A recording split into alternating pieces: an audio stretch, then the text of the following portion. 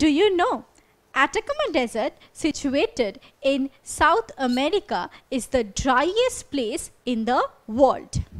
This place has turned into a desert because of its geographical location.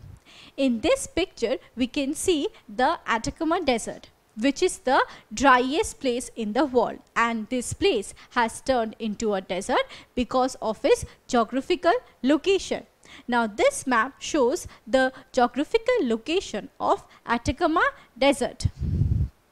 From this map, we can see that the Atacama Desert is located in the western side of Andes Mountains. So this is Andes Mountains and Atacama Desert is located here in the western side of Andes Mountains. Now Andes Mountains blocks the monsoon winds coming from the east.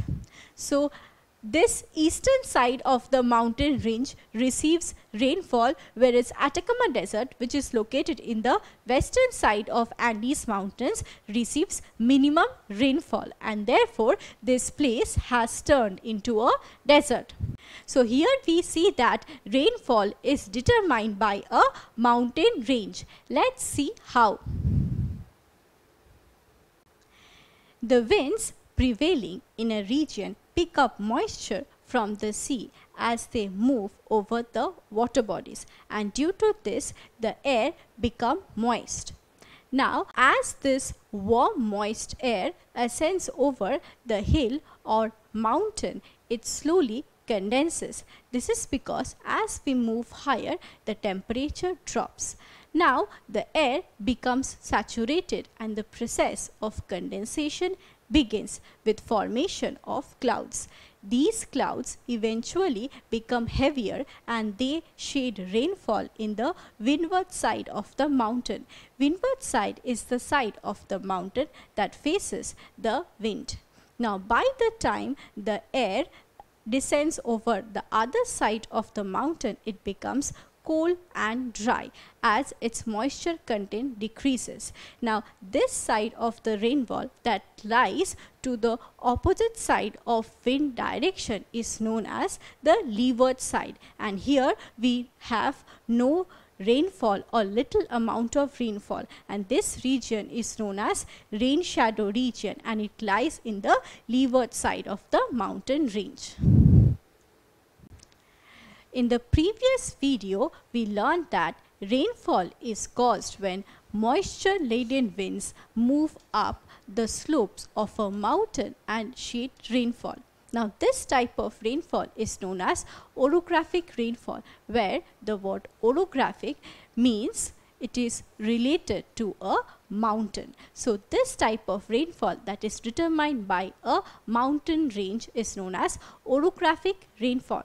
Now if you remember I mentioned that Atacama Desert is a dry region because it is located in the leeward side of Andes mountains and so Atacama Desert receives little rainfall and it has turned into a dry arid region. Have you ever heard of 4 o'clock shower? Well, if you have not heard that, then let me tell you, equatorial rainforest experience 4 o'clock shower. It is very surprising, isn't it? But it's true. So, the equatorial rainforest of the world like Amazon rainforest, Congo rainforest and Southeast Asian rainforest experience 4 o'clock shower. Now let us see how this rainfall occurs. This type of rainfall occurs when the earth's surface gets heated up due to sun rays during day. The hot surface heats up the air lying above it and the hot air eventually rise up. The cold air sinks down. This rising of warm air and sinking of cold air sets up convectional currents. Now due to heat, the water vapor also evaporates. and this water vapor gradually condenses into water drops on reaching high and the process of condensation begins and clouds are formed. Now eventually these clouds become heavy and they shed rainfall. So in the previous video, we saw that sometimes rainfall is caused when hot air rises up from the earth's surface along with water vapor and eventually condenses and causes rainfall. Now this type of rainfall that is induced by convectional currents is known as convectional rainfall. Now I mentioned that convectional rainfall is also known as 4 o'clock shower and it mostly occurs in equatorial regions. This is because equatorial region receives substantial amount of heat or maximum sun's heat during daytime and by the time of evening the process of condensation ends up and precipitation begins. Thus the clouds that are formed shades rainfall by the time of evening. So every day at 4 o'clock the equatorial regions receive 4 o'clock shower or convectional rainfall. Sometimes rainfall is also caused when warm tropical air converges with cold polar air. The contact zone of these two air masses is known as front. The warm tropical air being less dense rise over the cold polar air which is more dense. Now this warm tropical air is usually moisture laden. The warm tropical air gradually condenses on coming in contact with cold polar air and leads to cloud formation. These clouds eventually become heavier and they shed rainfall. So in the previous video, we saw that rainfall occurs when warm tropical air converges with cold polar air. This type of rainfall is known as cyclonic or frontal rainfall. It is known as frontal rainfall because these rainfall occurs at the front that is the contact zone of two air masses. It is also known as cyclonic rainfall because the type of wind that cause these rainfall is cyclonic in nature. Now before we proceed with our lesson, let us try to answer this question. Identify the type of rainfall that occurs when warm tropical air and cold polar air meet. Is it orographic rainfall, convectional rainfall or cyclonic rainfall? Yes, the correct answer is cyclonic rainfall. Cyclonic rainfall is a type of rainfall that occurs when warm tropical air and cold polar air meet.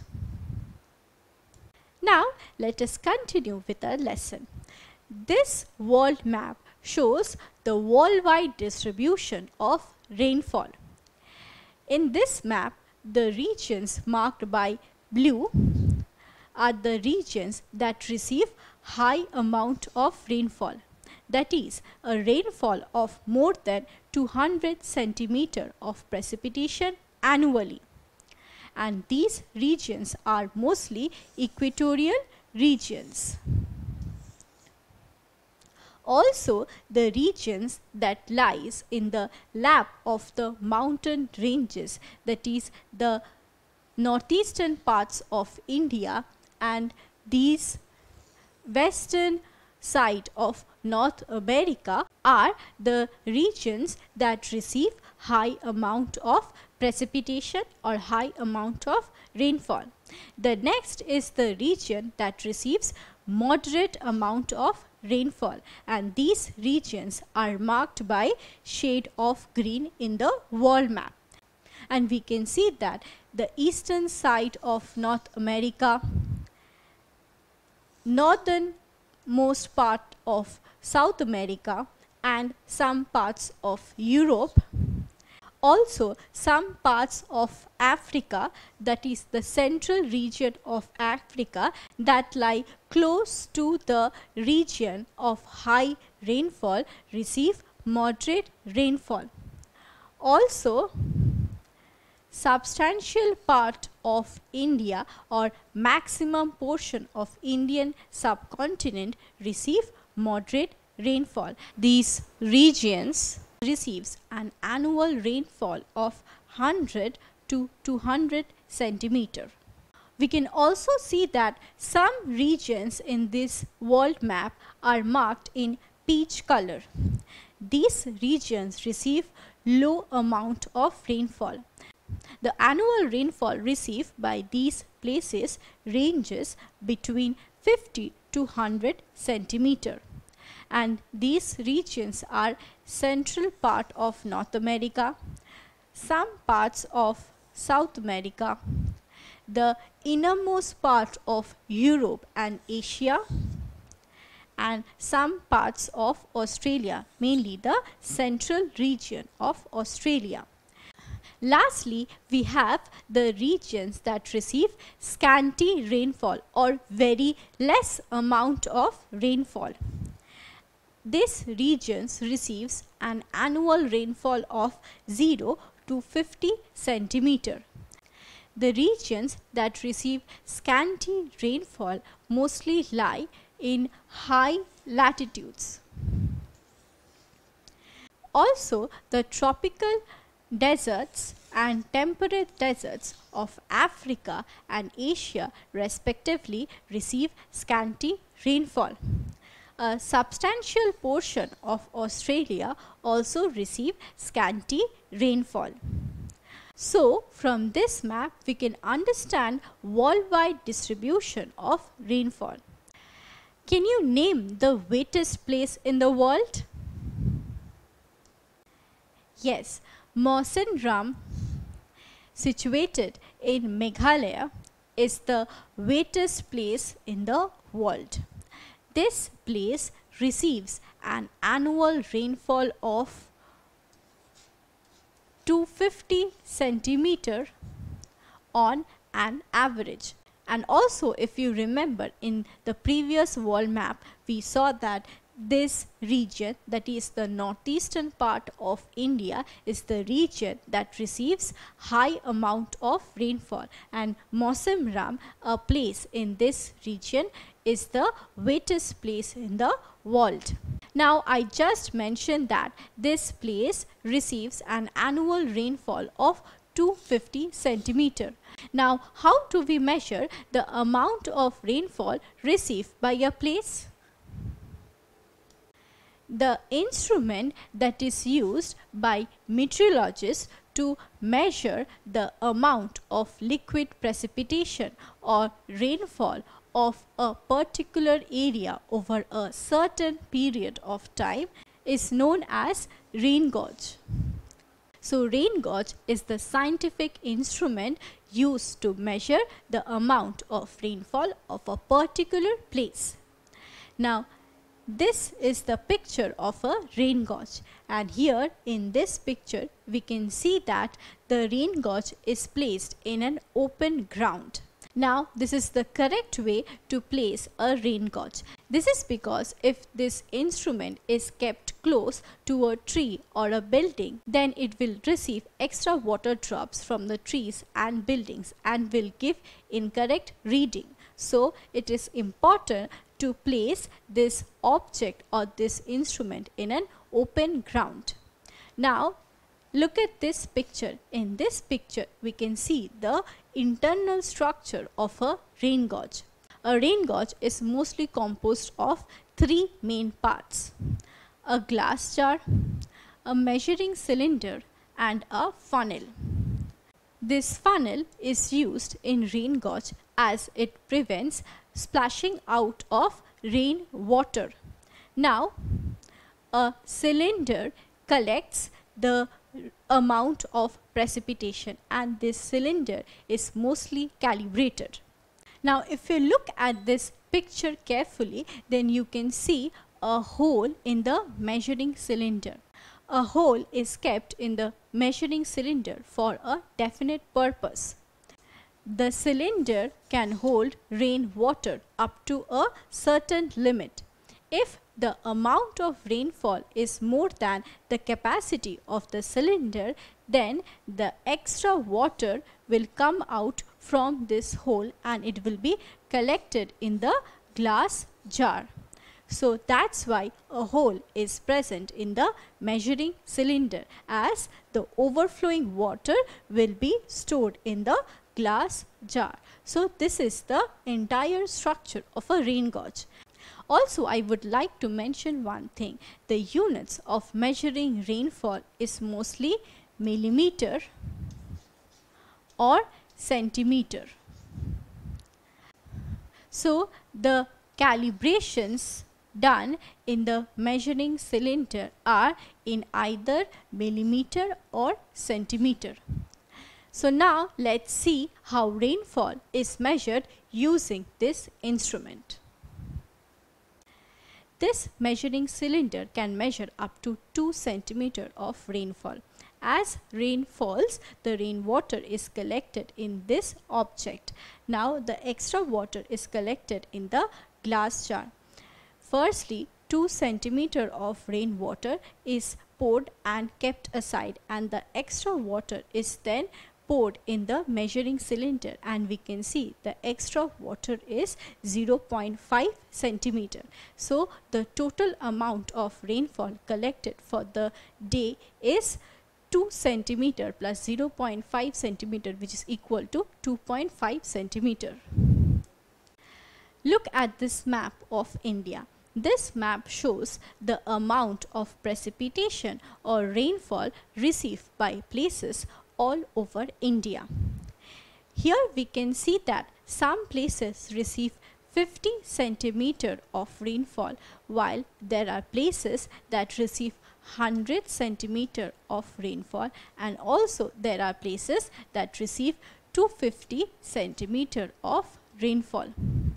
So now let us join these dots that receive same amount of rainfall. Similarly, we will join the dots of the places that receive 100 centimeter of rainfall and similarly we will do it for the places that receive 250 centimeter of rainfall.